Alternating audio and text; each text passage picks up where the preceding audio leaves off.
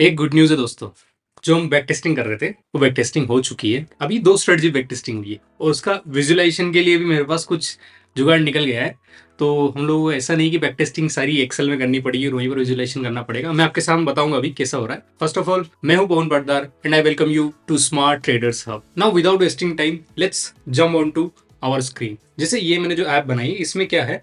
In general मैंने दो particular चीज़ें की है। फ़र्स्ट ऑफ़ ऑल इंडाइसिस का different and F and O stocks का डिफरेंट क्योंकि आप सब जानते ही है कि दोनों चीज़ें अलग अलग टाइप से ट्रेडिंग होती है। दोनों चीज़ों में अलग अलग टाइप का साइकोलॉजी लगती है।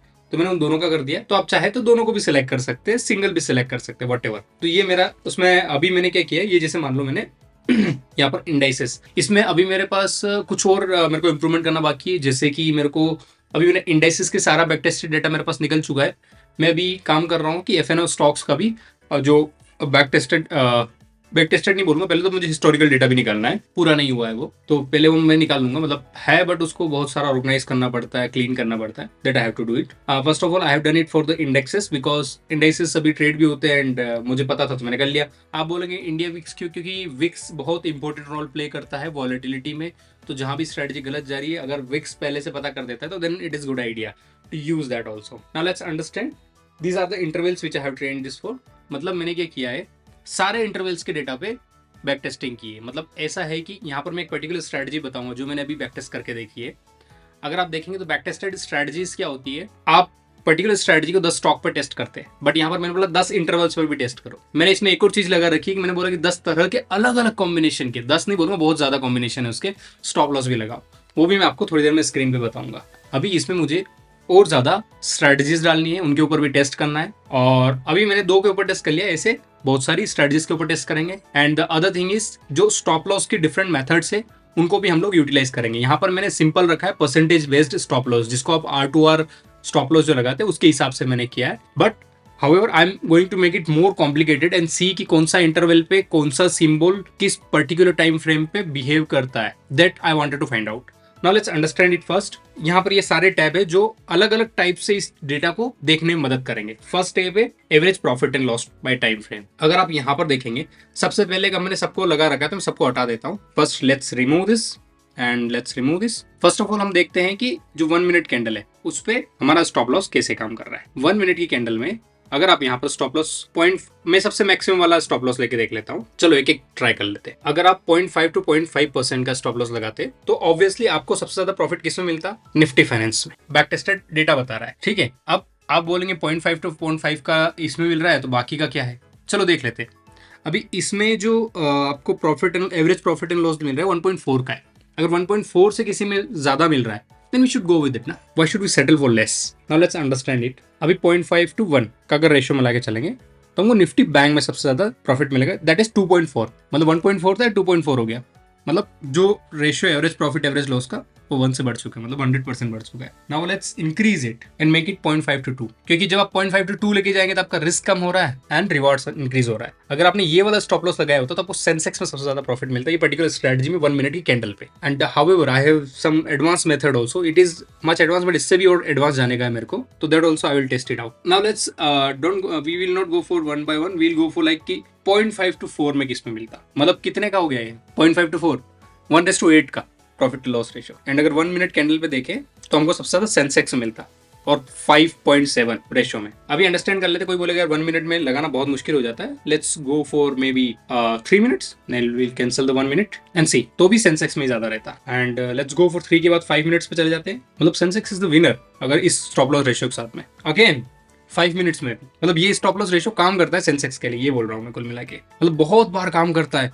सीधे ratio thirty seven it's the highest five minutes में भी काम करेगा। मतलब मैन्युअली भी लगाया जा सकता है। इसमें एल्गो का ज़्यादा ज़रूरत नहीं पड़ना चाहिए मेरे हिसाब से। ठीक है let's go for the ten minutes and see thirty seven आया तो अभी मैक्सिमम रिज़ल्ट अगर इससे भी ज़्यादा कोई दे रहा है तो then we have to go for that अगर अपन 10 मिनट्स में लगाते हैं निफ्टी बैंक में, जो 15 का रेशियो आता है but still it is less so 10 minutes में जाते हो विल गो फॉर 15 क्योंकि जितना आप टाइम फ्रेम बढ़ाते जाएँगे, उतना स्टेबल सिग्नल होगा। आपके नंबर ऑफ़ ट्रेड्स भी कम होते जाएँगे। मतलब आपका जो ड्रॉडाउन है, वो मैनेज होगा इन टर्म्स ऑफ़ जो आपका ब्रोकरेज लगता है, जो आपको एस लगता है, जो आपको अदर चीज़ें लगती है। Again the Sensex is the winner 15 minutes में भी 26 बट इससे भी ज़्यादा आ रहा था बीच में, एक और कैंडल देखिए ना अपन जो interval sorry not candle 15 minutes now let's go for 30 and will go for then the 60 30 के लिए Nifty bank will be winner and 60 के लिए भी देख लेते हैं। 60 के लिए बैंक एक्स है ना इंटरेस्टिंग चीज़? मतलब एक स्ट्रेटजी का स्टॉप लॉस और इंटरवेल का अलग अलग कॉम्बिनेशन दिया तो अलग अलग टाइप से उसके ऊपर बिहेव करेगी। ऐसा आपको ऑनलाइन कहीं भी अवेलेबल नहीं है और आपको मिल भी नहीं सकता, क्योंकि ये एक यूनिक है जो मैंने खुद ने अपने एक्सपीरियंस से डिज़ाइन किए क्योंकि मुझे हर दिन के लिए डिज़ाइन करना था।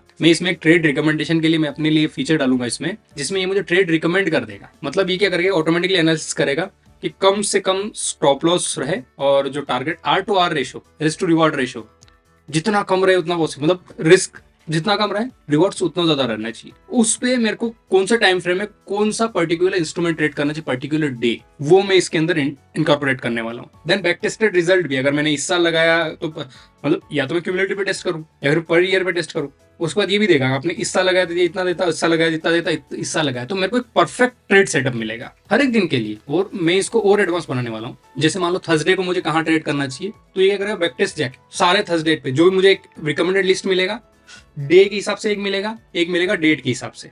मतलब एक तारीख को कितनी बार ये सक्सेस हुआ है और थर्सडे को कितनी बार सक्सेस हुआ अगर दोनों का एक कॉम्बिनेशन आ रहा है मतलब कॉमन पैटर्न आ रहा है, वो कॉमन पैटर्न भी लेगा। देन उसको जाके सारा ईयर वाइज एनालिसिस करके मुझे दे देगा अगर किस ईयर में कम परफॉर्म किया। अब इसमें और भी एडवांस चीज़ें हैं, वो भी हम डिस्कस करेंगे।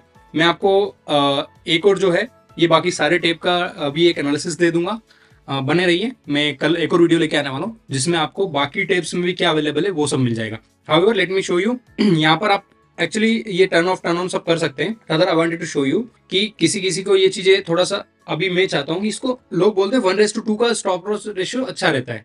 वो रेशो का बोलते हैं। हियर ऑल्सो मैं वन रेस टू का टू का लेता हूँ और सिक्सटी मिनट्स लेता हूँ तो बैंक इज़ द विनर मतलब एक कॉमन पैटर्न अगर मिल गया ना अपने को, इसमें क्या चीज़ काम करती है? बाय गॉड इससे अच्छी चीज़ कुछ हो ही नहीं सकती। क्योंकि जब आपको ये पता है कि कौन सी चीज़ किसमें अच्छी काम करेगी तो यू आर द विनर यार। फिर तो आपको पता है कौन से मार्केट को आप हैंडल कर लेंगे। मान लो एक स्टडी काम नहीं करेगा you have always the fall back plan and your risk reward ratio is manage ना। उससे तो क्या ही चाहिए ज़िंदगी में। आपकी स्पाइक्स मैनेज होगी, आपके अगेंस्ट ट्रेड आ गए, वो मैनेज हो गई, आपको पता है कौन से इंटरवल में मतलब ऐसा नहीं है हम लोग बोल रहे नहीं स्पाइक्स आते तो हम फिफ्टीन मिनट्स पे लेंगे, हम वन मिनट पे लेंगे, हम स्काल पर है। तो ऐसा क्यों? ज़रूरी थोड़ी है। कहीं लिखा थोड़ी हुआ है। आपने क्या बैक टेस्ट करके देखा क्या? नहीं देखा ना। फिर क्या? अभी मैं आपको कुछ ऐसे एडवांस फीचर बताऊँगा जो लोग बोलेंगे यार, नहीं, सुबह में ही ट्रेड सक्सेसफुल होती है। मतलब जो स्काल्पर से उनको तो नौ से दस के बीच में ट्रेड होना चाहिए, क्योंकि वहाँ पर वॉलिटिलिटी हाई होती है फिर तीन से साढ़े तीन के बीच में लेना चाहिए। भाई, क्यों? कहाँ पर लिखा है?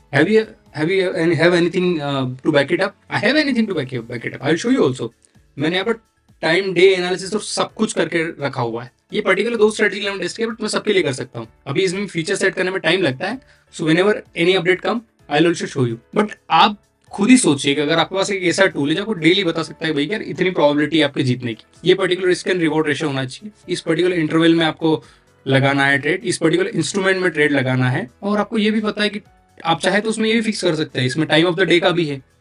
पर्टिकुलर डे का भी है। फिर अगर मैं इसको क्या करूँगा कि डेटा को अपडेट करता जाऊँगा, जो स्ट्रेटजीज है स्ट्रेटजीज भी मैं मल्टी मल्टीपल लेके आऊँगा, और उसमें से कुछ कॉमन स्ट्रेटजीज निकालूँगा जो ऑलमोस्ट सदाबहार है एवरग्रीन है। मतलब पहले भी काम की अभी भी काम की और हमेशा काम कर रही है। और ये ब्लाइंड नहीं होने वाला है कि नहीं नाइन ए ले लो, वो अच्छा काम कर रहा है मेरे लिए, मैं टेस्ट करके रखा हूँ या फिर रोज में ट्रेड ले रहा हूँ। क्यों भाई? Will take something different nine a आपको कहाँ पता है कि स्टॉप लॉस और टारगेट का रेशियो क्या लगाना है?